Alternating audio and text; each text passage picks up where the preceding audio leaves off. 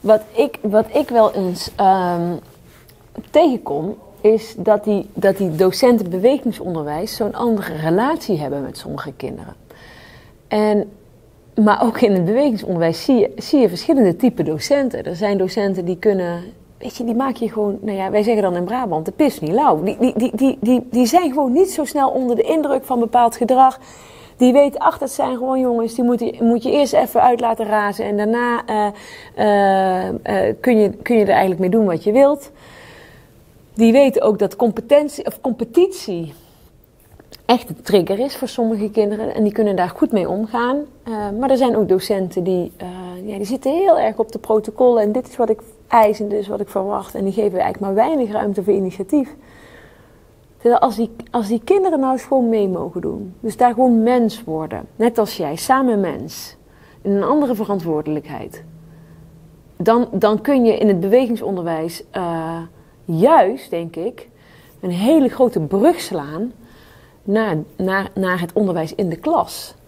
Sommige kinderen komen zoveel beter uit de verf in een sportzaal of op een sportveld. Of op een, op een tokkelbaan of uh, uh, weet ik veel in wat voor sportieve uitdagende omgeving. Dan wanneer ze de hele dag op een stoel moeten zitten tussen vier muren en een plafond. Zijn kinderen horen helemaal niet thuis in een klaslokaal. En dat ziet die docent bewegingsonderwijs. Die ziet dat. Dus die heeft daar informatie voor die, voor die klassenleerkracht. Nou, als die elkaar nou eens wat vaker zouden zien. En elkaars werk vaker zouden zien. En wat vaker koffie zouden drinken met elkaar. Denk ik dat het voor heel veel kinderen een groot verschil kan maken. Dan kan die docent bewegingsonderwijs uitleggen. Je moet hem niet de hele tijd stil laten zitten. Je moet er een wedstrijdje van maken met hem. Dan werkt hij wel. Dan, dan gaat hij lopen. Dat vindt hij mooi. Nou. En, en, en, en andersom kan die klassenleerkracht uitleggen. Dit is een jongen die heeft een grote bek en een heel klein hartje. Die moet je niet zo hard aanpakken. Daar moet je vrienden mee worden. Dan wordt hij zacht.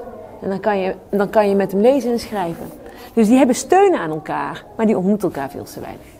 Waarom is dat dat elkaar te weinig omdat, omdat de werkdruk te groot is. Omdat mensen echt te weinig tijd ervaren om koffie te drinken. Om in alle rust het goede gesprek over de inhoud van het werk. En dat zijn de kinderen. De kinderen zijn de inhoud van het werk. Niet jou, niet jouw methodes en niet jouw, niet jouw uh, uh, protocollen en, en, afspraken die je op bestuursniveau hebt. Jouw kinderen zijn jouw werk. Dat is de pedagogiek, dat is het werk. Daar moeten die kinderen het van hebben. En daar hebben die docenten elkaar heel hard voor nodig. Goed, dat hebben we weggeorganiseerd. Daar ben je boos van, hè? Ja, ja dat, vind ik heel, dat vind ik heel jammer. Want ik kom heel veel eenzame leraren tegen. Heel veel eenzame leraren. Die zeggen, ik zie mijn collega's niet meer. Ik, uh, we hebben het nauwelijks over ons werk. Ik ben alleen maar aan het nakijken. Ik ben alleen maar aan het registreren. Ik ben alleen maar aan het vastleggen. Dan denk ik, ja, hoe kan dat nou? Daar snap ik niks van. Hebben we ook te weinig vertrouwen in de leraren dan? Dat ze zoveel... Ja, nou, als je met zo'n administratielast zit, dan zou je zeggen van wel, ja. Wordt het dan toch niet eens tijd om naar de overheid te gaan kijken? Ja, wel, maar dat gaat zo traag. Dus in, kijk in eerste instantie eens maar naar je eigen systeem en wat je weg zou kunnen laten. En dat moet die leraar, die moet daarin gesteund worden door zijn schoolleider. En de schoolleider moet gesteund worden door zijn bestuur. En het bestuur moet daar gaan praten. Ja. Wat zijn de eerste stappen die een bestuur kan zetten om dit beter te doen? Om de werkdruk te verlagen om uiteindelijk gewoon voor te zorgen dat die, leer, die leraar uh, met die vakleerkracht bewegingsonderwijs kan gaan praten en dat gewoon voor het kind ja, nou ja. wordt gedaan.